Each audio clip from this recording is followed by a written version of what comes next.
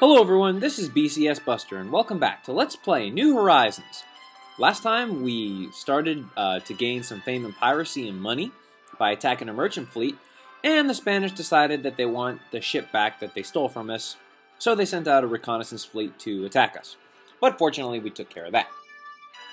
So now we just need to start building our fame and piracy and uh, earning some money to do that. So there's a couple of potential fleets for us to attack and to take out. Now remember, viewers, you don't necessarily have to do it this way, but since these fleets are here and we just want to build up uh, fame and piracy as quickly as possible, I, I personally think it's okay to just take out everybody as quickly as you can.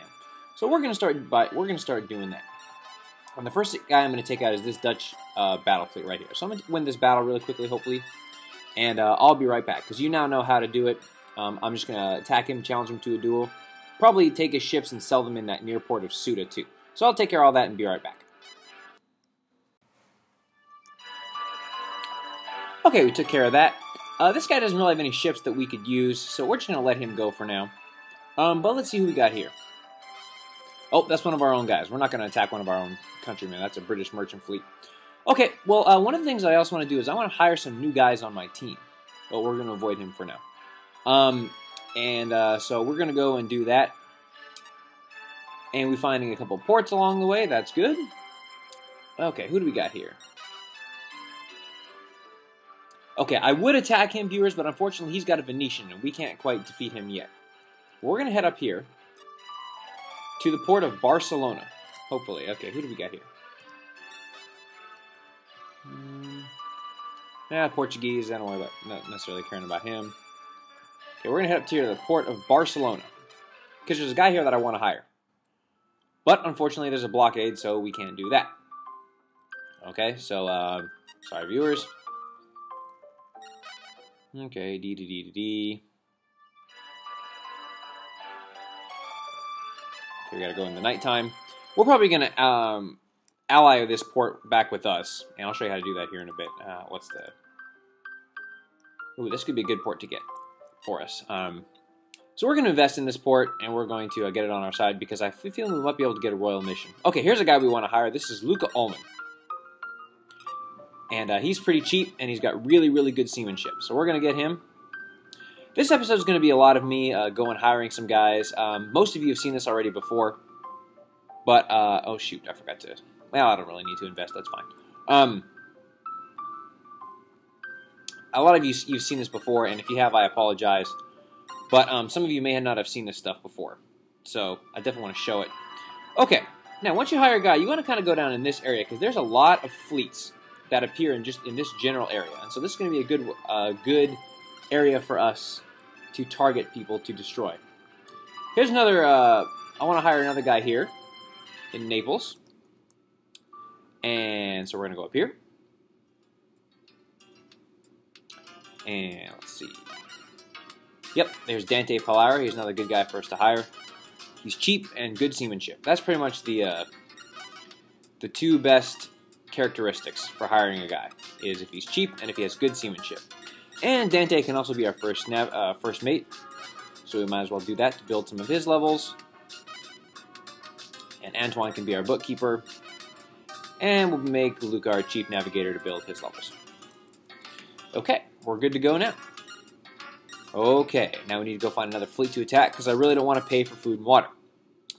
Ah, Fame and Piracy is doing pretty good. 3,200. You got 22 gold bars already. That's pretty good.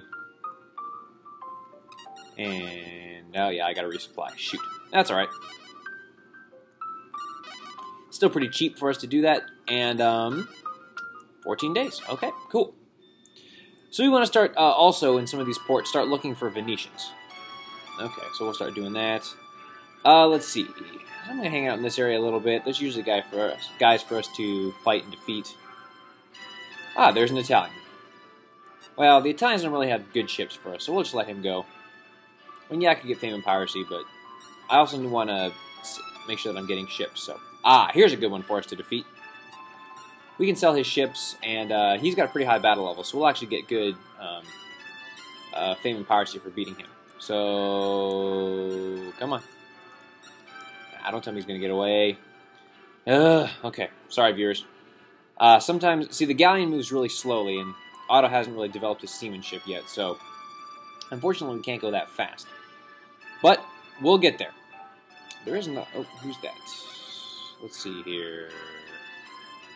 Ah, another Portuguese battle fleet. All right, yeah, I'll take him out just because I need some food and water. Plus, uh, he's just in the wrong place in the wrong time. So, okay, let me take care of this, win this battle real quick, and I'll be right back.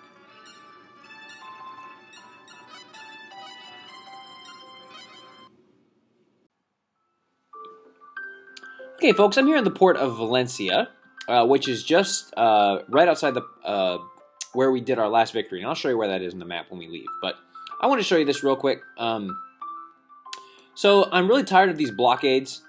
So I'm in here in a Spanish port, and I want to get it back on our side.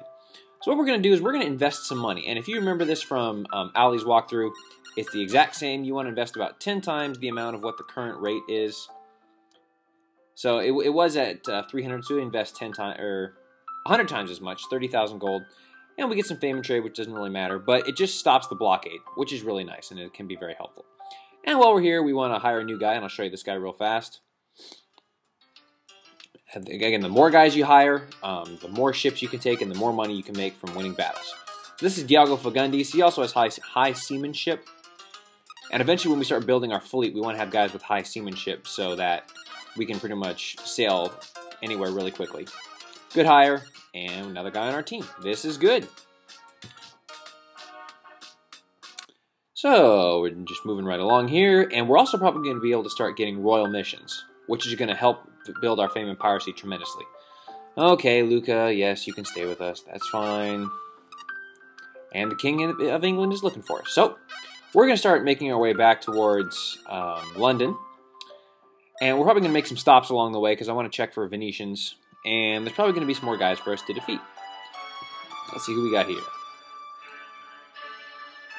Ah, the Spanish. We know we can't let them live. So, let me win this battle real quick, and I'll be right back. I'll sell my ships in Algiers as well, and then I'll meet you guys right outside of Algiers. Ooh, this will be a good one. Okay, folks, we made it here to the port of Algiers. And wow, our fame and piracy just shot up. Holy cow. I guess if you attack um, people from the country you're after with a letter of marque, um, you get more fame and piracy. I actually didn't know that until now, so that's pretty cool. Anyways, okay, let's see what we got here. Shall we be off to the cafe? What a surprise. Matthew is ready to eat again. So, alright, well, can't keep a hungry man waiting. So, let's go to the cafe and Feed that big appetite of his. By the way, he called him an omnivorous cow. I may have to remember that. That's a good line. Commodore, let's eat. And apparently that's it. Okay. Hmm, I still think Otto kind of looks like a superhero, you know? That green cape in the back. I don't know. Anyways. Um, so, well, there's not a whole lot more we can do here, so let's get out of here. Go up here and... Have you heard? They say that there are ghosts around the trader's place. Would we go have and have a look? Uh, sure. No problem. Let's go over here. Commodore, is something wrong? Let's go. Just a moment. I hear something. It sounds like it's coming from the storage area.